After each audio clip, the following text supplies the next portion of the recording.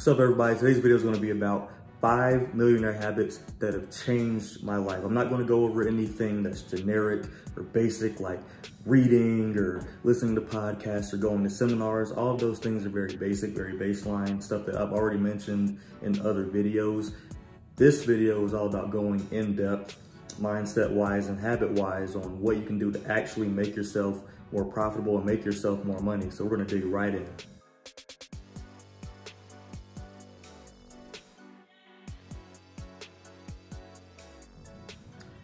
So the first habit is going to be associating with successful, like-minded people as yourself. You are quite literally the average of the five people you spend the most time with. So, and that, that, they could be personality-wise, they could be habit-wise, that could be money-wise. That's all of those factored in. So if you just did the exercise right now and said, okay, who are the five people I spend the most time with? How much do they make a year? Or or what type of jobs do they have if you don't know how much they make a year? What are their habits like? Do they eat healthy? Do they drink? Do they smoke? Like what do they do? And and then you just compare it to you. And that's just a way to prove what i'm saying. Like it's kind of mind-blowing when you first realize it but it's true. You are the average of the five people that you spend the most time with. With that being said spending time with like-minded successful people and you're going to want some of these folks to be more successful than you making more money than you, better in relationships with you, or better at something. They have to push you in some way, some shape, some form, you know, because it's going to rub off on you in the long run. Just like if you hang around some friends who party all the time, you might find yourself out at a party, even though you're not naturally a partier. If you're around people who read a lot, you might find yourself reading sometimes, you know, it's, it's stuff like that. So these are the things that make you more successful. People are like a catalyst for success. It just speeds the process up. They can show you what mistakes they've already made. They can show you things to avoid, and they can show you how to get there 10 times faster just by networking, just by being in that association. And with association comes with masterminding and all these incredible things that monetarily are worth thousands and thousands of dollars, but half the time just being around these people and their minds and just and just picking their brains, you can actually you can you can get information for free that people are willing to spend several hundreds and thousands of dollars for. And just to piggyback off of association, we're going to go to the next habit, and that's going to be mindset shifting slash asking for feedback. You, you want to constantly challenge the way that you're thinking because if you think about it, people that are ahead of where you are now, the one thing that probably separates them from you isn't education. It isn't necessarily what they were born into. It wasn't necessarily uh, that they're just better than you or smarter or they were born into a rich family. It's generally just their mindset, right? It's not their race. It's not their economic upbringing. It's their mindset. What is different about their mindset? So, so you probably grew up with a certain way of thinking, whether it's family members passing it down or friends that you were around all the time who passed them down to you. And there's nothing wrong with that. But you should always, always challenge your belief system. I'm not talking about religion. I'm purely talking about the way that you think about things, about challenges. Some people think that money is evil okay? And they'll pass that down from generation to generation. They'll say the improper phrase that money is the root of all evil. And everybody knows the real phrase is the love of money is the root of all evil. But either way, you grow up thinking that. That's your truth for the first 10, 20 years of your life. And then you find later in life that having money is a form of security. It's a form of generational wealth. It's something that can make your life and your family's life way better. And so when you have mindset shifts like that, and there's tons of mindset shifts you can have, these are things that make you more profitable. It makes you a better person. It makes you a more open-minded, well-rounded person. And that's just how it is. And then just on the flip side of that, asking for feedback. So along with association, pick one person that you look up to and, and an area or multiple areas of your life, right? Some that some somebody that you look up to is like, man, that person has a fantastic marriage. I want to be like that. Or this person's doing great financially. I want to be like that. Pick their brain, sit down with them, have some coffee, have some food or something, and just ask for feedback. Like, what can I do better? To what can I do to get further along? Now you gotta have some thick skin, do stuff like this. And by the way, I have a video, shameless plug, about how to grow thicker skin. If you wanna check that out, it'll be up here somewhere. And so check that out if you haven't already. But seriously, you're gonna wanna sit down with them and say, what can you do better? And what you'll find is you're nowhere near as perfect as you think you are. You'll find that there's so much value in what they have to say and they're not charging you a dime for it. These are the things that if you do it habitually, if you do it weekly, monthly, you know, I have a call with my mentor once a month. Once a month. Doesn't cost any money. It's purely just a guy that I really look up to.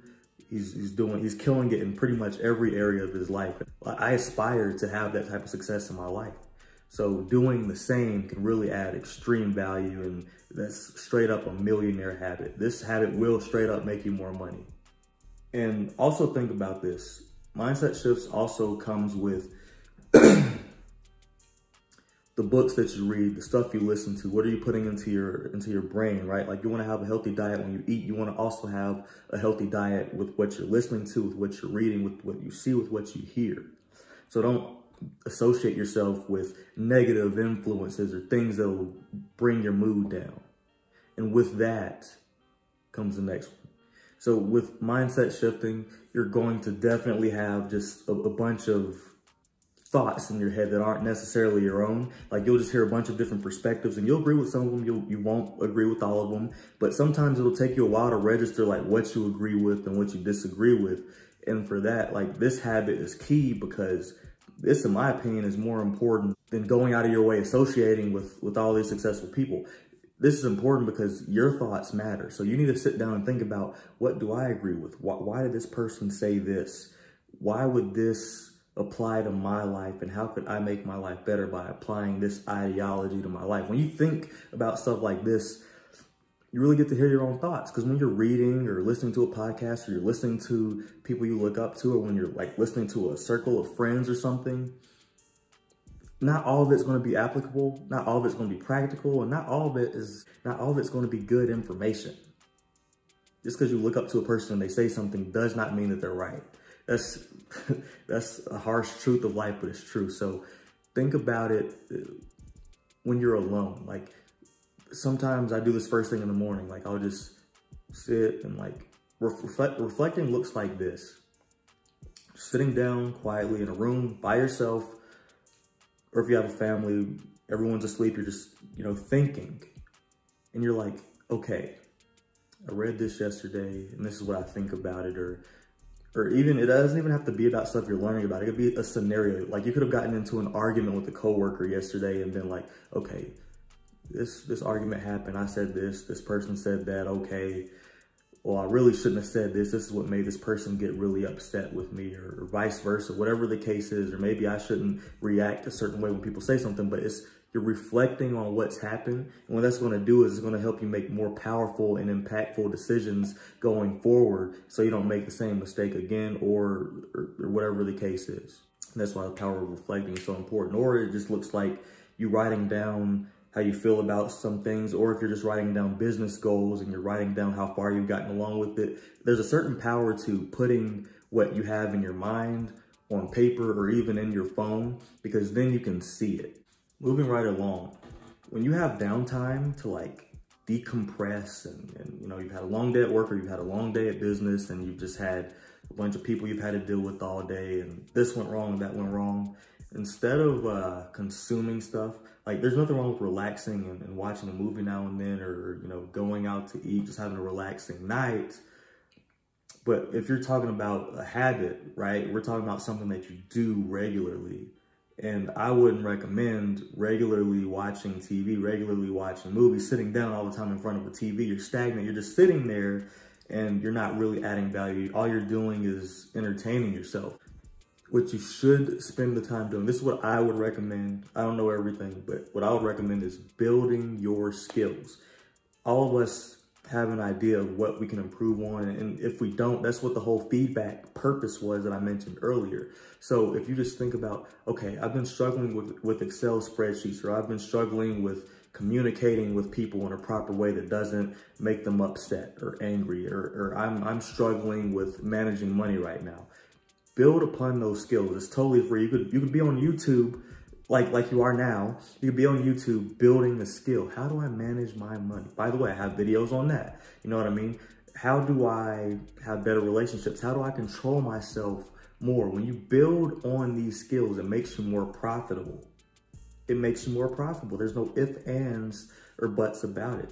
Build those skills, whether it's like uh, watching YouTube videos or, or whether it's like just reading a book in an area that you're struggling in at night like right before bed, just, you know, reading a chapter or something at night. Just habitually, you're going to have so much knowledge if you do this on a regular basis. I'm not saying every day, but do it on a regular cadence.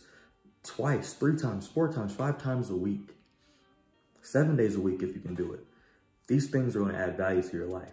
Moving on, we have meditation. And this is something that has really, really added value to my life. And I never thought it would uh, the, the, this one is extremely valuable. I don't know how else to say it. Like this is last on the list, but it's certainly not least. When you meditate, it it straightens up your mind. Like I don't even know how to explain it, but I'll just share this with you. Like I had a period of my life, right, where a lot of things were stressful, and it was recently. It wasn't like five years ago. It was pretty recently, and I was just going. I was just having all these things happening, and like I was getting stressed out. Like I remained cool on the outside, but on the inside, I was going crazy. Meditation can cool you from the inside out.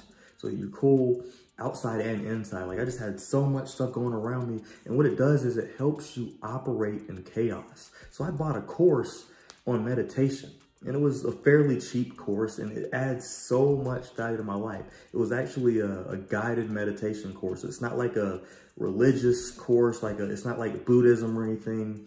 And it's not like finding your, not, nothing weird like finding your third eye or anything like that. If you believe in that, sorry if I offended you, but all I'm saying is it's, it's nothing that's out of the norm. It's literally teaching you a new way of thinking. And it's kind of like an out of body experience because you get to look at the world a lot differently once you do this on a habitual basis.